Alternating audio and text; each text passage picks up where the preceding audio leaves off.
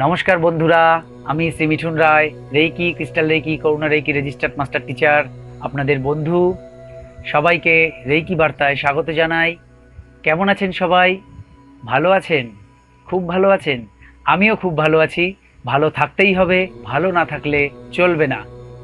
আসুন আজকে যে বিষয় নিয়ে আলোচনা করব, সেটা হচ্ছে অনাহত চক্র। বন্ধুরা, গত তিনটে ভিডিওতে আমি সহস্রা চক্র আজ্ঞা চক্র, বিশুদ্ধ চক্র পর্যন্ত বলেছিলাম। আজকে চার নম্বর, ওপর থেকে চার নম্বর চক্র অর্থাৎ অনাহত চক্র। সেন্টার অফ চেস্ট বুকের মাঝখানে অনাহত চক্র আপনার হার্টের পাশে। বারোটি সবুজ রঙের পাপড়িযুক্ত একটি পদ্মফুলের মতো দেখতে এই চক্রকে। এই চক্রেই থাইমাস গ্ল্যান্ড অবস্থিত।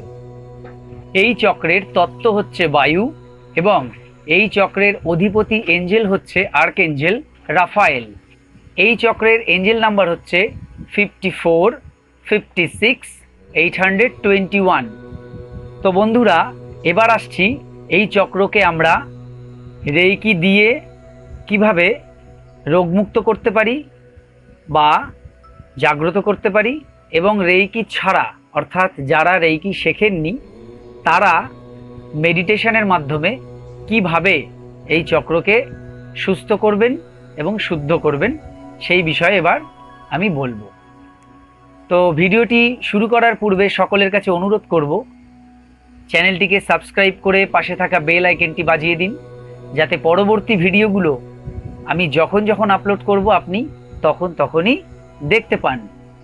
এবং ভিডিও ভালো লাগলে একটি লাইক করবেন বন্ধু বান্ধবের সঙ্গে শেয়ার করবেন।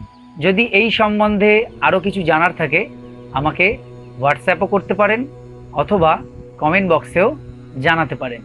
তো আসুন, ভিডিওটি শুরু করছি। এই চক্রের জন্য যে এঞ্জেল নাম্বার দেয়া হলো এঞ্জেল নাম্বার কীভাবে ব্যবহার করা হয়, সেটা তো আমি আগে অনেকগুলো ভিডিও দিয়েছি, যেখানে আপনি জানতে পারবেন যে এঞ্জেল নাম্বারকে কি কি উপায়ে ব্যবহার করা হয়। এবং বেশি তাড়াতাড়ি উপকার পাওয়ার জন্য কীভাবে এঞ্জেল নাম্বার ব্যবহার করতে হয়, সে ভিডিও আমি আপলোড করেছি। তো এই চক্রের জন্য যে এঞ্জেল নাম্বার দেওয়া হয়েছে, সেটাও সেমভাবেই আপনি ব্যবহার করতে পারবেন এবং এই নম্বর যিনি রেইকি শিখেছেন, তিনিও যেমন ব্যবহার করতে পারবেন এবং যিনি রেইকি শেখেননি, তিনিও সমানভাবেই ব্যবহার করতে পারবেন। আচ্ছা এবার আসছি রেইকি যারা শেখেননি, তারা মেডিটেশনের মাধ্যমে এই চক্রকে কি করে সুস্থ করবেন। প্রথমে আপনি একটু ঢিলে ঢালা জামা কাপড় পরে একটি ঘরে আপনার জন্য যে আসনটি কমফোর্টেবল সেই আসনে আপনি বসবেন। সেটা চেয়ারেও বসেও হতে পারে, বিছানায় বসেও হতে পারে মেঝে বসেও হতে পারে, অবশ্য কিছু পেতে তার উপরে বসবেন। ঘরে একটি ধূপকাঠি জ্বালিয়ে দেবেন বা একটু পারফিউম দিয়ে দেবেন। এরপর আপনি মেরুদণ্ড সোজা করে আপনি বসবেন, মেরুদণ্ড বেঁকে গেলে হবে না। এরপর আপনি হাত দুটো আকাশের দিকে মুখ করে নিজের হাঁটুর ওপরে রাখুন, এভাবেও রাখতে পারেন, এভাবেও রাখতে পারেন, আপনার যেটা সুবিধা হয় সেটাই রাখবেন। এরপর এই যে বীজ মন্ত্র দেওয়া হলো, এই চক্রের জন্য, অনাহত চক্রের যে বীজ মন্ত্র, অর্থাৎ ইয়াং, এই মন্ত্রটি আপনাকে একশো আট বার জপ করতে হবে। প্রথমত আপনি মেডিটেশনে বসার পর আপনার মনকে অনাহত চক্রে স্থির করবেন। অর্থাৎ আপনার বুকের একদম মাঝখানে আপনার মনকে ওইখানে স্থাপন করবেন যে আপনার মন একদম বুকের মাঝখানে এবং আপনি একশো বার এই মন্ত্রটিকে জাপ করবেন। মন্ত্রটি কীভাবে জাপ করবেন? ইয়াং ইয়াং ইয়াং। এইভাবে আপনি জাপ করবেন। যদি আপনার এইভাবে জাপ করতে, বা জপ করতে অসুবিধা হয়, আপনি মনে মনেও এই মন্ত্রকে জপ করতে পারবেন। তবে মনে মনে জপ করার জন্য আপনার যে সমস্যাটা হবে, সেটা হচ্ছে একশো বার কাউন্ট করাটা। তো সেখানে আপনি মিনিমাম একটা টাইমে ধরে করুন, পাঁচ থেকে দশ মিনিট করুন, তাতে যতবার হয় হোক, একশো বার বলেছি, তার থেকে বেশি করলে কোনো সমস্যা নেই। কম যেন না হয়। এই পুরো সময়টাই আপনার মনকে আপনি অনাহত চক্রে রেখে আপনি এই মন্ত্রটি জাপ করবেন। এইভাবে আপনি আপনার অনাহত চক্রকে শুদ্ধ করতে পারবেন বা সুস্থ করতে পারবেন। এইবার আসছি যারা রেইকি শিখেছেন, তারা তো জানেনই কীভাবে করতে হয়, তাও আমি এই ভিডিওতে বলে দিচ্ছি। যারা রেইকি শিখেছেন, তারা চিরাচরিত নিয়ম, রেইকিকে কল করবেন হাতে যখন রেইকি এসে যাচ্ছে, আরেকটি কথা, রেইকি কল করার আগেও নিজের দু হাতে যদি আপনি সব সিম্বলগুলোকে ড্র করে নেন, তাহলে হাত দুটো স্ট্রং হবে। যে কোনো কাজ করার আগেই আমি সবসময় বলি, আমার প্রায় ভিডিওতেই আমি বলেছি, যে দুটো হাতকে আগে সিম্বল দিয়ে, যতগুলো সিম্বল আপনি পেয়েছেন, আপনি যদি সেকেন্ড ডিগ্রি হন, তাহলে আপনার যে কটা সিম্বল আছে, তিনটে সিম্বল আপনি করবেন। যিনি মাস্টার ডিগ্রি করেছেন, তিনি আরও যা যা সিম্বল আছে করবেন। যিনি ক্রিস্টাল করেছেন আরও যা যা সিম্বল আছেন, সব যিনি করুণা করেছেন, তাতেও আরও অনেক সিম্বল আছে।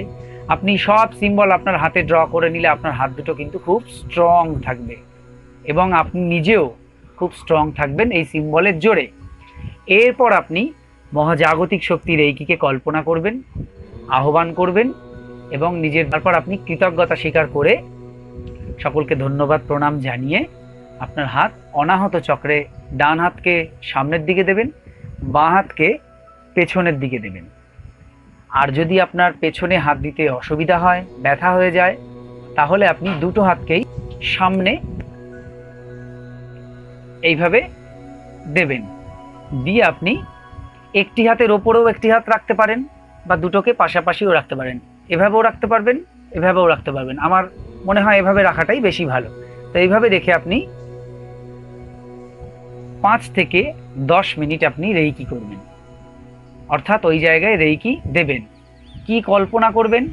মহাকাশ থেকে সাদা আলো আসছে, আপনার বুক অব্দি এসে দু কাঁধ হয়ে হাতের তালু থেকে সেই মহাজাগতিক রেইকি শক্তি সাদা উজ্জ্বল আলো আপনার অনাহত চক্রে প্রবেশ করছে এবং আপনার অনাহত চক্র থেকে সমস্ত ধরনের নেগেটিভিটি সমস্ত খারাপ জিনিস সব ধুয়ে মুছে সাফ হয়ে যাচ্ছে এবং আপনি সম্পূর্ণ সুন্দর, সুস্থ হয়ে যাচ্ছেন। অর্থাৎ আপনার অনাহত চক্র সম্পূর্ণরূপে সুস্থ, সজীব, উজ্জ্বল হয়ে যাচ্ছে। এই কল্প এইভাবে আপনি এই টাইমে রেকি করবেন এবং এই বিষয়গুলো কল্পনা করবেন।